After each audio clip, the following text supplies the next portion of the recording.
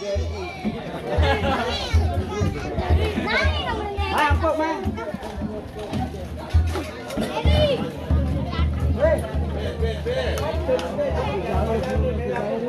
Ini dah tetap. Đi